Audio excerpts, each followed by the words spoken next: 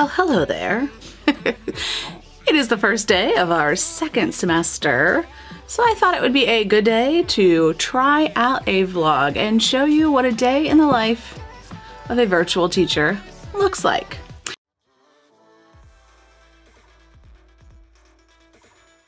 If you are new here, my name is Brett, and I am a virtual high school special ed teacher. And I am virtual because I work at a virtual school, not because of the pandemic, but we're virtual all the time. So I was a virtual teacher before virtual teaching was cool.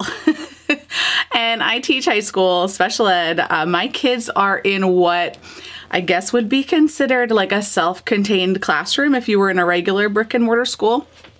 Um, but because we are a virtual school that covers an entire state, our department is really large. So we've got several hundred kids.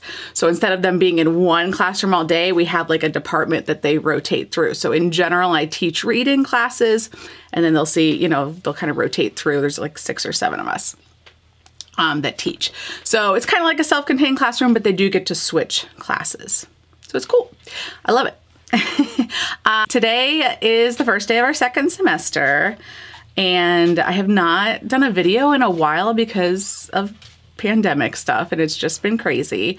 And let's see, it's like 7.30 now. My first class starts at 8 it's a new class for me because it's only a semester long class. Um, it, and I'll have to do a video on how I totally backfired um, my classes because I got rid of one and I ended up getting three more. But that's a whole nother story. So it is social studies. So it's a new class for me. I'm really excited about it. Um, I first, though, have to go wake up my own children because I already woke up my high schooler and he got on the bus. He's at school. My other three kids are home virtually for the next two weeks at least. They have been going back and forth and back and forth all year long, and it's really difficult. really difficult. So I gotta go wake them up, get them ready so that they can log on to their online classes and hopefully not bother me for the day. So I will be back right before my 8 o'clock class to kind of tell you a little bit about what that's gonna look like. See you all soon. Go grab your coffee, and we'll be right back. All right, so I've gotten my second cup of coffee. I am back and I am about to be starting my social studies class. I'm really excited about this class because I um, get a co-teacher. So because the class sizes are so large, um, I get a co-teacher. So it's just a long-term sub, but she's awesome. And so I will have her for my period one class. Um, and then I'll also, she's going to be in my period four reading class as well. So both of those classes have like 16, 17 kids, which for our department is large because of the population that we serve. Um, the reason our classes are so large this year is number one, we've had tons of new enrollments because of the pandemic and people, kids who want to stay virtual and that sort of stuff but also we like reorganize the way that the department works. I'm not a fan. I'll just say that. I'm not a fan. I'm hoping that we go back to what it was like before. And those of you that are special ed teachers, you may have had this dilemma where you're like, oh, it would be so great if I could just teach, right? That would that's oh, I don't want to do all the paperwork stuff. So we did that this year. We split the department up and we had like teachers who were just case managers. They just do all the paperwork and the meetings. And then we have teachers who are just teachers. And so they asked us, you know, well, which would you rather be? Of course, I was like, oh, I want to teach. that's what I want to do whew, I, I want to go back. I would rather teach. Uh, like last year, I taught three or four live classes a day, and then we had like 10, 15 kids on our caseload. So this year, the case managers have like 40 kids on their caseload, and that's all they do all day, which I wouldn't want to do that.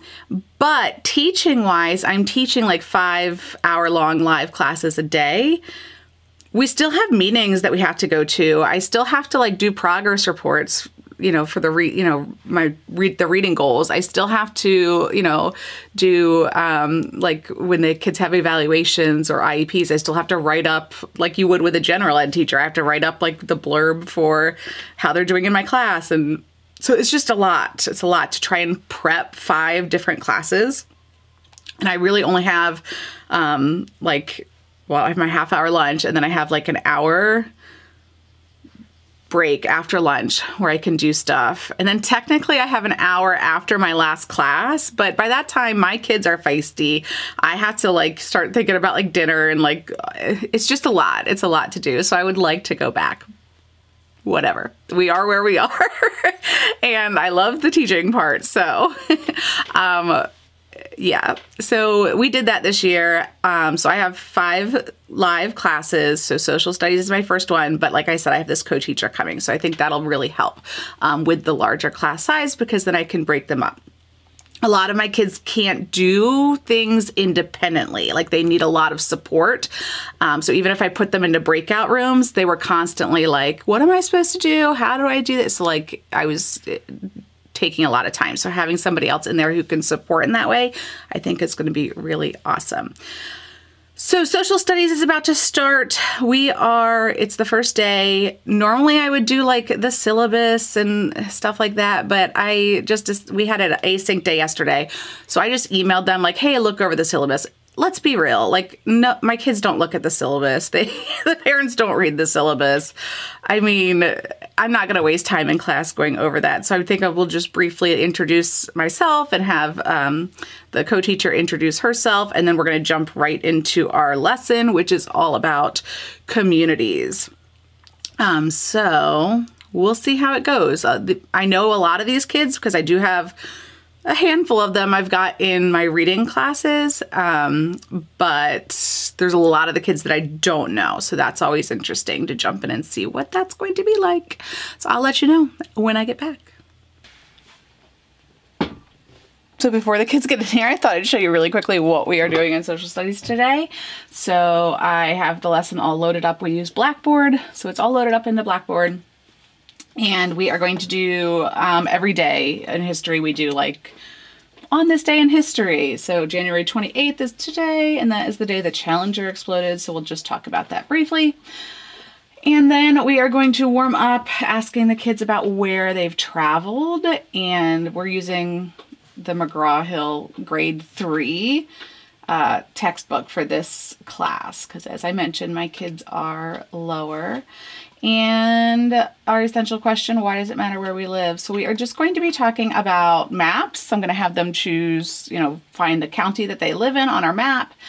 And then we are talking about urban, suburban, and rural communities. So we'll go over all of those and I'll have them discuss kind of what community they live in. Um, and then we're also going to go over some different communities around the world. My kids will not be able to read this independently, so I just kind of snipped the, the pages of the book up there for my own reference, um, but we'll kind of, I'll read through parts of it and we'll talk about it, and then they're going to go to their breakout rooms and um, try and give me a sentence about what type of community they live in. So do they live in rural, urban, or suburban? It's nice because our kids are spread out all over Pennsylvania. So we will have kids from all the different types of communities. So I really enjoy that because we get a lot of different like perspectives from all different types. So that will be good. So that is the plan for social studies. And I will catch you when we're done. All right, so I'm just hopping on here really quickly. I have my green screen on because I put a background of cities and rural areas, urban areas, suburban areas, because that's what we were talking about today in social studies. The lesson went really well. Um, but it took a while to get through and check all of their breakout rooms. So I have like two minutes before my next class starts. So I hopped in really quickly to my reading six class and uploaded their slides. We are reading Tuck Everlasting. In that class, the kids love this book. Um, so it's always a good time because they are very invested in Winnie and the Tucks and everything. So I will hop back on here in a little while. That's Friday game day. Oh yeah. And and plus Friday game day is is like where you can play like video games, like ma- like math games. Well, that ELA sounds games. lucky. So can you turn my stuff on? What? Right now? Yeah. All right, just go. Thank you. Okay, so I only have a quick minute. I finished reading six. The kids are so into this story. It's awesome. It makes my life so much easier. Um, there was a whole bunch of issues because it's the first day of the new semester. So kids' classes have changed. So some kids accidentally were put into classes at the same time. So I'm trying to teach the class and trying to message people and trying to get that all figured out. But got sorted. I actually let them leave like 10 minutes early. Usually at the end of class, I do like a breakout room question that they have to answer. And today I was just like, nope, you can go. Um, Tuesdays and Thursdays are my busiest day because I have class at 8, class at 9, and then I have another class at 10. My 10 o'clock class is only Tuesdays and Thursdays, so I'm about to head into that one now. This class is um, a small group. It, there's only, th I have three students in it. These kids, um, are students that have lots of other services in their day. So they, the only like live class time they have is uh, 10 o'clock. Um, I teach it two days a week. Another teacher teaches it three days a week. So I do math and science with them. The rest of their day is spent with other service providers. So they have a lot of needs. Um, so again, they, they are all high school students, but um, we are working on today like shapes. Um, we work on, you know, we've been working on just counting to, you know, 10 or counting to 20, um, basic addition, um, trying to like count money has not been going well. Um, and that's something I really would like them to be able to master. They, I could not, the coins, it wasn't working. So right now we've just been working on, like I will in their breakout room or in the classroom um, have like something like a, you know, gum is one dollar and then they have to like pull down one dollar like from their little wallet that I have up there they can just pull down a dollar or you know like ham is three dollars and I'm trying to get them to pull down three dollars and we've been working on that all year. So we are still working on that. Um, so it's a challenging class. It's a really challenging class. I really enjoy them. Um, but it's hard. It's hard to like try and figure out like how can I get them to master these, you know, concepts that they really are going to need if they're going to live independently. So I'm about to jump into that class and then I jump right back into a reading for a reading seven class. So I will probably see you again after I get done my reading seven class on my lunch break. All right. Catch you soon. I be in it? No, you cannot be in it. I say hi. Hi. What? Say hi. Hi. Okay. Can you go now? Quickly.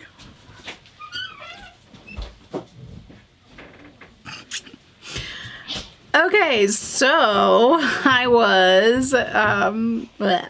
okay, so on my lunch break right now. Last two classes went well. I had my small group of kids who um, need a lot of extra help and they there was only two so there's three kids in that group normally but only two came and we worked on shapes so um, they just were finding circles and squares and triangles and counting the sides and that sort of thing. And then actually I was like going to end too early. There was some extra time. So I have my um my pet snake over here. so I just like was like, "Oh, I'm to show you some shapes." And so I held up like different things from his tank and I was like, "What shape is this?" And I held up a little circle thing. "What shape is that?" And then I brought the snake out and I put him in a circle and the kids enjoyed that. And he's got, um, I'll show you, hold on, Bo. So we got him out. The kids liked seeing him. But Bobo also has shapes. So we could talk about his shapes. And Bobo is getting really upset with me that I keep um, bringing him out today. He's like, this is my sleep time. Get away from me. So I have Bobo. He's a small snake. He stays near me. But I also have a really big snake too. So someday we'll get him out. But let me put Bobo back before he gets upset with me. So um, that was fun. The kids enjoyed that. And then at the end of the class, the one mom said that they had to go because they had to go to beach therapy. I have no idea what beach therapy is, but it sounds amazing. And I want to go to this beach therapy. And I, yeah, I mean, though that kids in that group go to lots of different therapies and medical appointments and that kind of stuff. That's why they only have like half an hour of instruction from me a day. But beach therapy? I, I don't know. Have you ever heard of this? I don't know, but I need to get in on this beach therapy because it just, it sounds wonderful. So then I had a quick break, and in that break, I had to go help all of my other children who were couldn't find their math books and couldn't log into class, and quickly run around and get them all situated. And then I had my reading class, and this is the one where we added they added a co-teacher for me because um, it got uh, I have like 16 kids this this semester. So we they added the um, co-teacher. So and she's awesome. So she was able to help me like manage the chat box and those sorts of things. And when I put them in a breakout rooms at the end, she was able to go in there and help them um, with that. So that definitely helped a lot. And as we go, I'll be able to kind of like now that I know her and how like everything, we should be able to. I'll be able to give her some more stuff to do as well. So that'll be really cool that class, that reading class is my highest reading. It's called reading seven, but they're like the highest reading level that I have. Um, most of them are like on grade level or like, you know, middle school, high school grade level readers. Um, so it's really great. We can have like a lot more conversations and a lot more in depth stuff. So we're reading Brown Girl Dreaming in that class. Um, so we read three poems today and we talked about using sensory language and being able to use the five senses as we're describing things so that we can help people make a visualization in their mind or a movie in their mind. Um, and so that went really well. The kids seemed to really understand that and it went great. So now I'm on my lunch break. I am starving because every single class, I swear today, they were talking about pizza. And now I'm like, I want pizza, even though I'm not supposed to have pizza. And I've been trying to drink my water, but all this talk about pizza is making me really want pizza, even though I'm not supposed to be having all those carbs right now. But I might have to go have some pizza after that. I don't know. I have my hour break coming up. I have lunch and then I have an hour break, and that's normally when I would write my lesson plans for the next week. I try and work on putting all the PowerPoints and lesson plans together during this hour that I have if, if I don't have any meetings. So that's what I'm going to do. And then I've got my last class of the day. So I will check back in with you at the end of the day.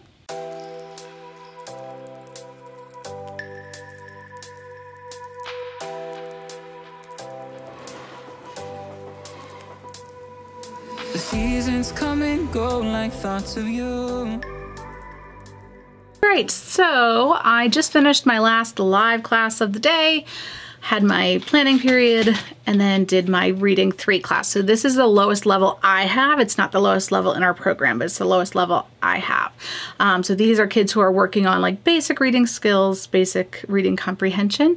Um, so we they're working through like a decodable story um, that I, found in um, CKLA's curriculum um, for third grade, but it's always difficult to find stuff for these kids that is um, like age appropriate. And I'm so glad I came across this story because it's all about a girl looking for a job. So it works really well and it's decodable and it works really well for their age because they're teenagers and will be looking for jobs and all that kind of stuff. So um, they've been doing really well with that story and taking turns reading out loud and all that stuff. So that worked out really well. That class is a hard class because it's just the end of the day. Like by the time that kids get to that point in the day, they're just like done. So it's always hit or miss. Um, and today was was good. They were participating, they were answering questions, they were following along, they were all getting on the mic to read. Um, so it doesn't always work out that way in that class. So that was good. Oh, and then in this last class, my supervisor popped in to observe which she does occasionally just so that the kids get used to her so they're not like, oh my gosh, there's somebody in here. So she usually only stays for like 10 minutes or so and, and leaves. So that actually worked out well today as well. they were all participating and behaving. So a-okay of in a day over here if I do have to say so myself. So that's my last live class. So technically I'm done with live classes. I technically still have my contracted hours for another hour um, but Thursdays are the day that I do um, emails to related service personnel because a lot of my kids' IEPs have um, like so many minutes a week that I'm supposed to be collaborating with a speech pathologist or whatever. So I will work on sending those emails out on Thursdays. Um, so that's what I do now. And then usually we have our PLC meeting, but I just got an email that they canceled that for today. So woohoo, I don't have to do that. Um, which works out well because there was another training that I wanted to attend at that time anyway. So I'm going to go uh, tune into this training on curriculum mapping. Um, and then after that, it'll be four. I will technically be done. And then I am going to start working on my doctorate coursework. Um, so I have to do two discussion posts that are due by midnight. So that is the plan. That is pretty much my day. I have um, one or two Go-Go Kid classes tonight at 8. I think from 8 to 9 I have Go-Go Kid classes.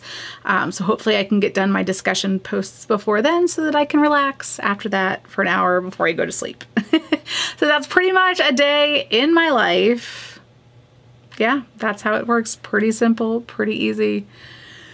Some days it goes well, some days it doesn't. But by this time in the day, every day, I'm like tired. I'm done. it's a long day to be sitting at the computer and doing live classes for sure. But it is enjoyable, especially when they go well. And today's classes all went pretty well, and that doesn't normally happen.